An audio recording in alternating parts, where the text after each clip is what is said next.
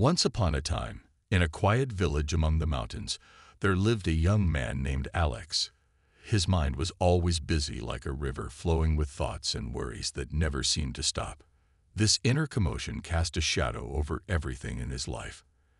Alex really wanted to find a way to control this negative emotion and calm his mind, and discover peace amid all the chaos. One day, Alex heard stories about an old monk who lived on a faraway mountain.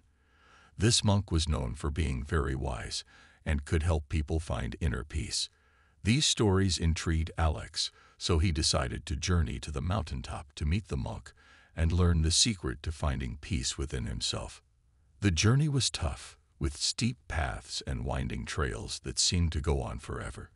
But Alex didn't give up. He kept going, driven by his strong determination. After many days of traveling, he finally reached the temple where the old monk lived. The monk welcomed him with a calm and understanding smile. I've come to learn from you. Alex said with a respectful bow. I want to know how to control my negative emotions and calm my mind so I can find peace inside. Can you teach me? The monk's eyes twinkled, as if he understood Alex's heart without needing words.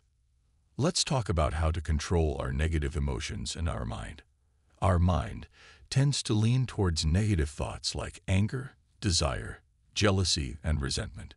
Supreme Monk's gradual training helps us practice controlling these. So first and foremost, before getting into these steps, there is one thing that you have to practice and master it, and that is awareness. If you are not aware and mindful about what you're thinking, then you cannot control it. So you have to totally understand, and you have to totally be aware of what you're thinking.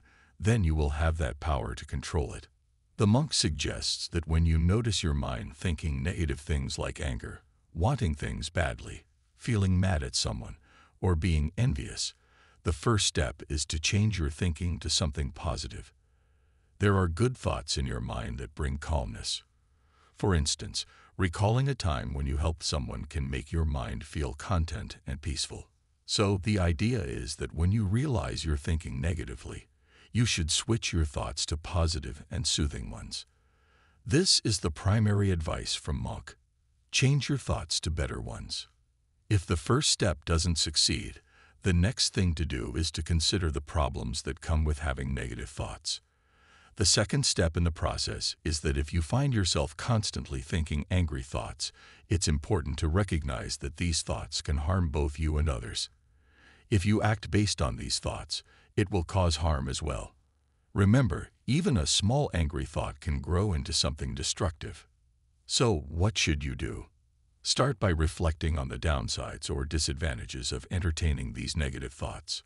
Once you recognize these drawbacks, your mind will naturally start avoiding them. Many times, we aren't aware of these downsides.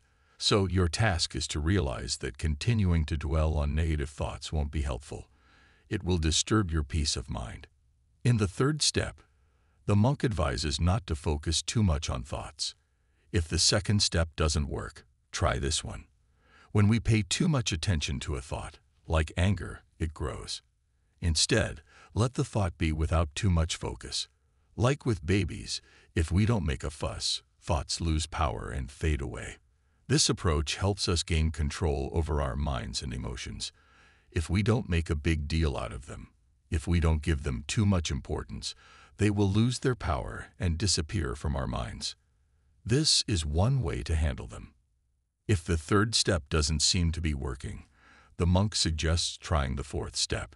To ease your thinking, keep in mind, when negative thoughts fill your mind, it becomes busy, rough, and scattered. So what can you do? You start by asking yourself, why am I tangled in these distracting and negative thoughts? They're keeping me busy and unfocused.